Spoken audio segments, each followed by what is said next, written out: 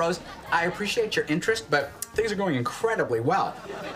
Yeah, I can barely handle the volume of patients I have now. Really? $30,000. Take it. Take it. We could get a new car. Maybe one with a working radio and brakes. You know what, Rose? We've been friends a long time, so I'm gonna make an exception here. You're welcome. Can you wire the money over today? I can give it to you right now. Whoa! You surprised me. Oh, Alan, Alan, Alan. What are you doing? Oh, uh, what do you mean? I'm, I'm just ta taking a break between patients. Oh, uh, uh, uh, chiropractic x ray glasses. Cutting edge stuff.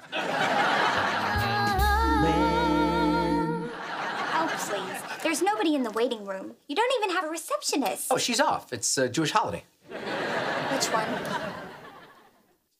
Havana Kuchnik. What are you doing here? Did you really think I was going to invest without doing my due diligence? Everybody else did. Now I know what's really going on. No, you don't. You're stealing from your own family. Oh, I guess you do. Shame on you. A whistleblower. This could be problematic. Boy, she's gonna tell Charlie. Charlie's gonna tell Mom, then Berta, then Herb, then Judith. Oh my God, Judith.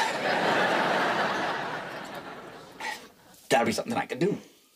It's gotta be. As long as you're sitting on the toilet, why don't you whip out your lady parts and tinkle? This is all your fault.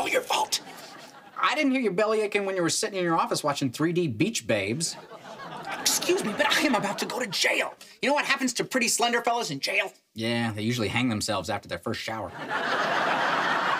but relax. Rose ain't gonna tell nobody nothing. Way I see it, you've got as much on her as she's got on you. You're right. She's cheating on her husband. Winner, winner, chicken dinner. She tells on me, I tell on her. Crisscross applesauce. I got nothing to worry about. Herky jerky, where's your turkey? Why do you keep talking like that? I'm looking for a catchphrase. Zippy? Flim flam, you're in a jam. Oh, hey. Somebody in there with you? Oh, no, no. Um, how can I help you? Just brought you clean towels. Oh, uh, what about my washcloths? I threw those away. Why? Do you really have to ask?